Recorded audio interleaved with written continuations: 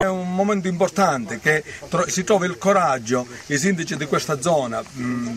una zona dimenticata, soprattutto, mi ripeto, della provincia di Palermo, perché stranamente questa strada della provincia di Palermo collega i comuni della provincia di Caltanissetta, quindi finora non c'è stato mai l'interesse politico di risolvere questo problema, perché praticamente non c'erano voti in questa zona, non si trova, la provincia non ha voti, perché è una strada inserita dentro la provincia di Caltanissetta. Oggi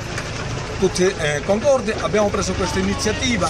è partita dal comune di Villalba ma col benestare di tutti gli altri, cioè di asfaltare le buche più pericolose. A spesa nostra sarà chiesto un contributo agli imprenditori e all'amministrazione che vogliono partecipare, perché in questo minuto stiamo, sto anticipando io di tasca tra l'asfalto, il trasporto e tutto, ma però poi sarà reso pubblico tutte le donazioni e i contributi che daranno imprenditori e cittadini privati, sarà portato un resoconto, eh, una nota a spesa, ecco, sia delle uscite uscite sia delle entrate. Se le istituzioni oggi hanno fatto questo intervento forte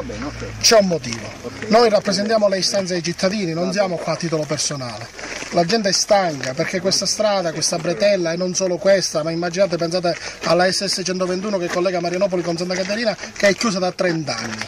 Ma questo non è solo un disagio per chi deve raggiungere l'autostrada, perché lo sappiamo tutti questo, ma questa è la fonte e l'inizio della nostra fine economica e sociale perché se non si riesce ad avere collegamenti per il commercio, se non riusciamo a, a creare sviluppo, perché i tir non possono raggiungerci, perché non possiamo essere competitivi come territorio, perché qua non si può attraversare la strada, allora non abbiamo nessuno sviluppo da andare a, a registrare. I sindaci de, de, del vallone, dei, dei paesi interessati territorialmente, sono qui per dire una cosa, se siamo arrivati noi vuol dire che c'è qualcuno che è assente